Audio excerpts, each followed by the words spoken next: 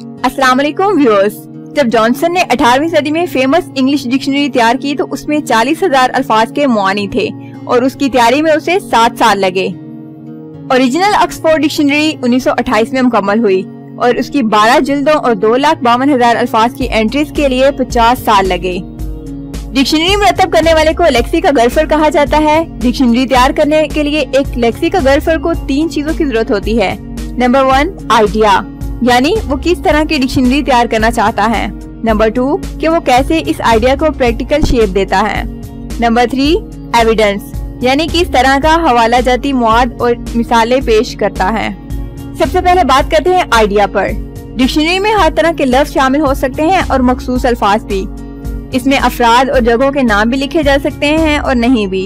इसमें कई तरह की इंफॉर्मेशन हो सकती है, जैसे pronunciation spelling etymology meanings grammatical behaviour synonyms या एंटोनिम्स इसमें अल्फाज की वजाहत और इस्तेमाल पिक्चर्स और एग्ज़ाम्पल के ज़रिए भी हो सकता है और इनके बगैर भी. डिक्शनरी मोनोलिंगवल भी हो सकती है और बाईलिंगवल भी. ये बड़ों और बच्चों के लिए अलहदा अलहदा भी हो सकती है और बड़ी छोटी भी. अब हम बात करते हैं स्टाइल गाइड पे. जब डिक्शनरी का आइडिया कंफर्म हो जाए तो फिर उसके बाद उसमें अल्फाज की एंट्रीज के असूल मुरतब किए जाते हैं. कब कोई लफ्ज मेन एंट्री होगा और कब सब एंट्री मसलन क्या love black bird main entry होगा, या फिर ब्लैक की सब एंट्री होगी, या फिर बर्ड की सब एंट्री? लव लिम एडजेक्टिव वर्ब और नाउन तीनों सूत्रों में इस्तेमाल होता है। क्या इन सबको एक ही एंट्री में रखेंगे? क्योंकि इन तीनों की स्पेलिंग एक है। या फिर दो एंट्रीज में, क्योंकि इन दोनों के मुआनी एक जैसे हैं, लेकिन तीसरा मुआनी मुख्तलिफ़ है। शायद इसकी एटिमोलॉजी ओरिजिन भी अलग है। या फिर इस लफ्ज की तीन एंट्रीज करेंगे, क्योंकि एक वर्ब है, एक नाउन है और एक एडजेक्टिव और अगर एक लफ्ज मेन एंट्री में एक से जायद बार आए तो किस तरतीब से रखा जाए?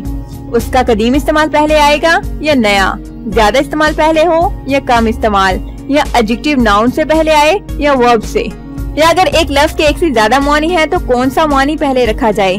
कदीम या नया? लुगवी या इस्तलाही?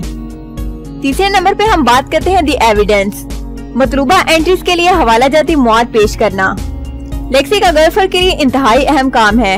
वो बहुत सी मिसालें इकट्ठी करता है कि किस तरह वर्ड्स और फ्रेजेस इस्तेमाल होते हैं और ये हवाले वो तहरीरी मुसवदों और रिकॉर्ड स्पीचेस से भी लेता है। ये मुस्त मुआद लेक्सी का गर्फर हसब ज़रूरत मुहैया करता है। Webster's Third New International Dictionary में 10 मिलियन हवाला जाती मिसालें मौजूद हैं, जबकि ओरिजिनल ऑक्सफोर्ड डिक्शनरी में 5 मिलियन है। लेक्सी का गर्लफ्रेंड दूसरी डिक्शनरीज बुक्स और ज़ुबान के बारे में मुख्तलिफ़ आर्टिकल से भी मदद लेता है। स्पेशलिस्ट वर्ड्स के मुतालिक वो एक्सपर्ट से भी रबता करता है और बाज़ात अवाम से भी उन अल्फाज का इस्तेमाल और रद्दमल जानता है। यानी एक बड़ी और अहम डिक्शनरी तैयार करने के लिए एक तवील और सब रजमा वक्त दरकार है। अगरचे डिक्शनरी पर एक फर्द भी काम कर सकता है, लेकिन ज़्यादातर डिक्शनरीज टीम वर्क का नतीजा है। जॉनसन ने कोटेशन इकट्ठी करने के लिए छह अफराद की मदद दी। ऑक्सफोर्ड डिक्शनरी की तैयारी में सैकड़ों अफराद ने रजा कराना तौर पर हिस्सा लिया, जो इंग्लिश लैंग्वेज से अमली तौर पर अपनी मोहब्बत ज़ाहिर करना चाहते थे।